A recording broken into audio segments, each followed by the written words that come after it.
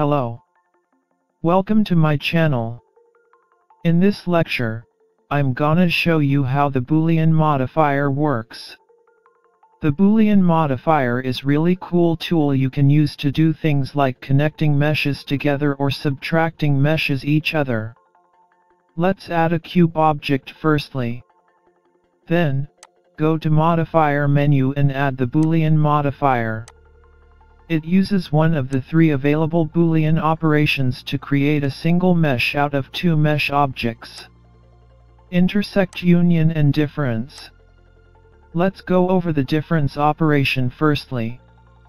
The difference operation is used to subtract one mesh from another one if they are overlapping. To use the boolean modifier we need at least two object. So, let's add cylinder object also. We'll call it as the target mesh or operand. Scale it little bit. Now, what we're going to do is subtract the cylinder from the cube object and make a hole.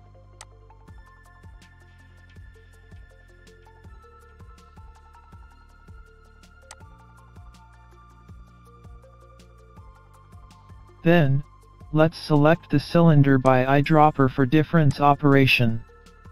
It has subtracted but we cannot really see. So, select the cylinder and go to the Object Properties menu. Let's change the display type to wire. Here we go.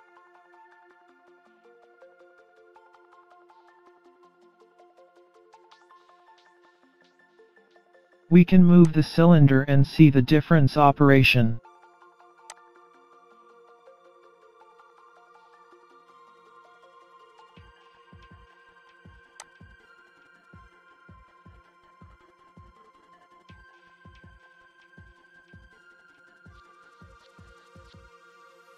Let's apply the boolean modifier.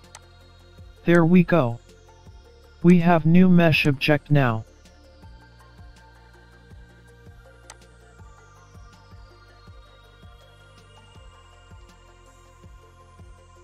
Now, let's go over the union operation. In the union operation the target mesh is added to the modified mesh, removing any interior faces. Press Shift A and add new cube object. Then, move the cylinder so that overlap with the cube. Then, select the cube and add the boolean modifier.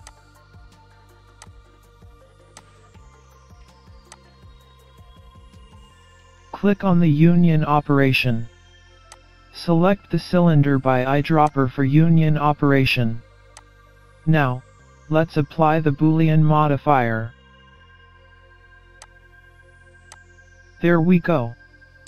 We have joined the cube and the cylinder together into one object.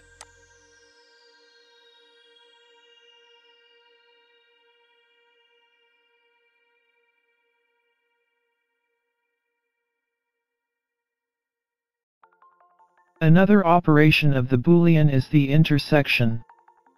The intersect operation creates a new object whose surface encloses the volume common to both original objects. Let's add cube object and add the boolean modifier.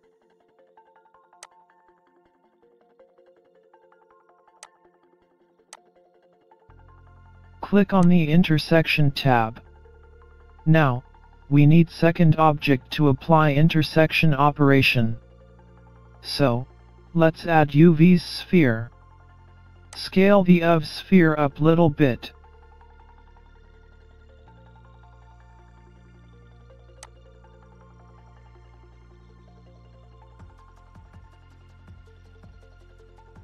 Then select the UV sphere by eyedropper. Go to the Object Properties menu and switch to Wire mode.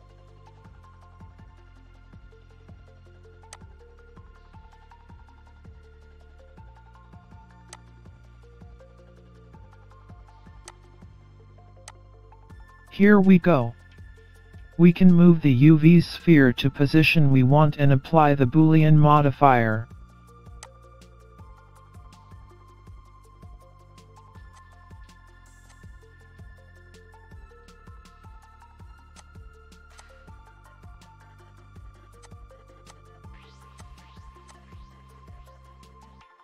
Thanks for watching. See you in the next tutorial.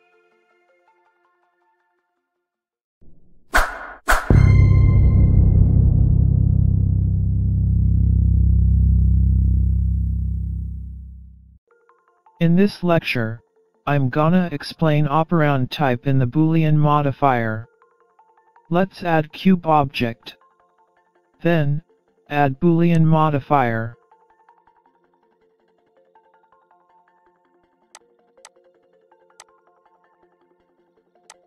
This modifier needs a second mesh object or collection of mesh objects to be the target of the operation. We call it as operand also. There are two types of operands.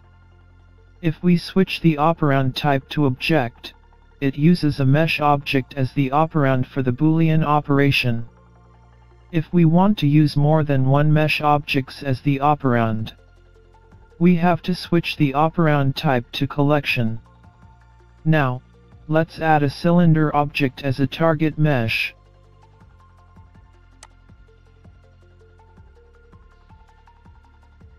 Scale it little bit.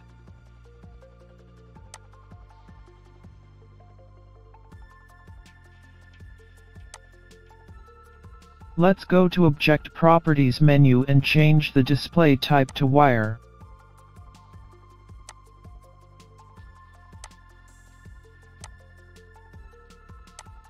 Select the cube object and go to Modifier menu. Then, Select the cylinder by eyedropper. Here we go. We have applied to the cube object difference boolean operation.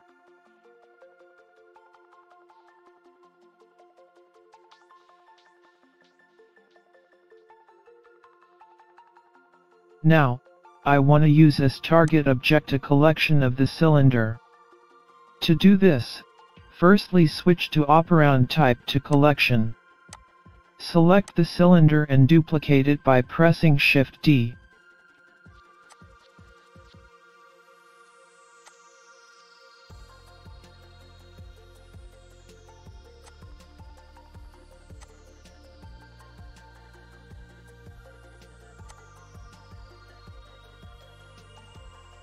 Then, select all cylinders and make a collection of cylinders. Let's right click and move to collection. Press the new collection and name the collection as cylinder collection.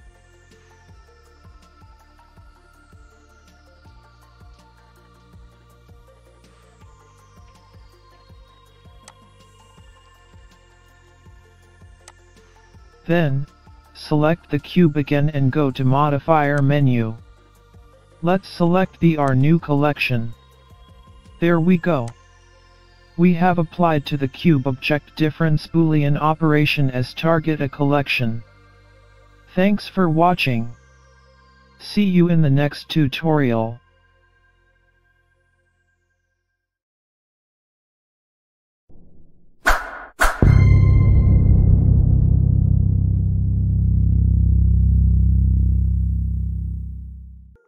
In this tutorial, we're gonna go over the solver option in boolean operation. Let's add new cube object and apply boolean modifier.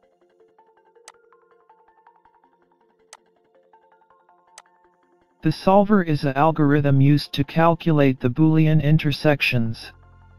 There are two solver options fast and exact. The fast is simple solver for the best performance. However, this solver doesn't support for overlapping geometry. The exact solver is advanced solver and supports for overlapping geometry.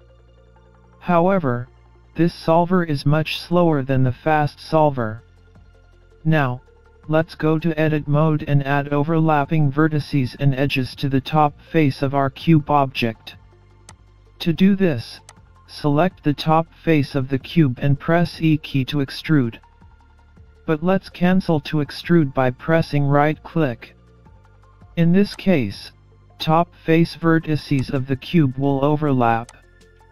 It means two vertices overlap.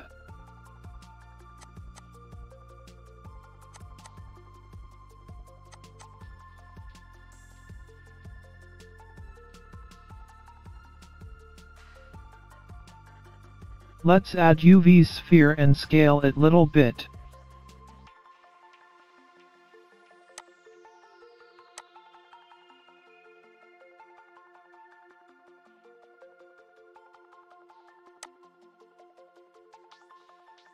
Go to the Object Properties menu and switch to Wire mode.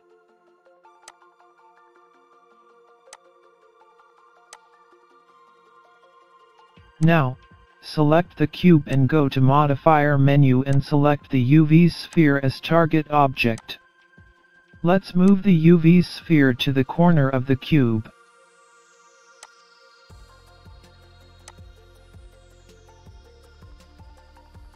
There we go. It seems that works. But, if we switch to the fast solver, it won't work. It is because the fast solver doesn't support for overlapping geometry.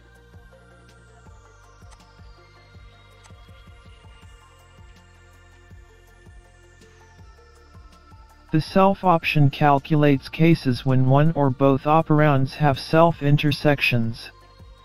Let's add new cube object. Then press Shift D to duplicate the cube and scale little bit.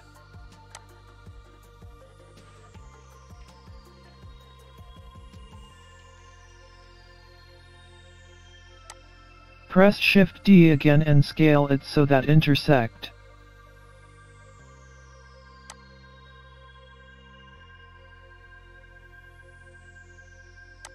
Press Ctrl J and make them joint. Now, we have self-intersection geometry.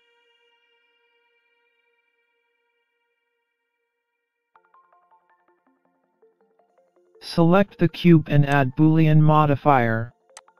Let's select this geometry as operand object. Switch to wire mode.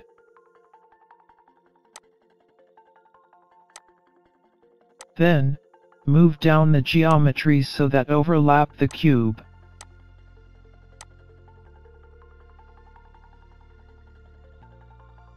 You have noticed that it doesn't work properly.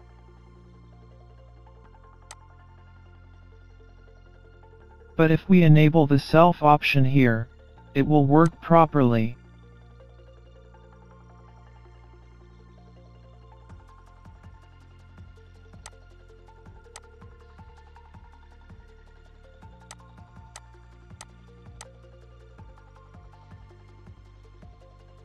The overlap threshold maximum distance between two faces to consider them as overlapping. Thanks for watching. See you in the next tutorial.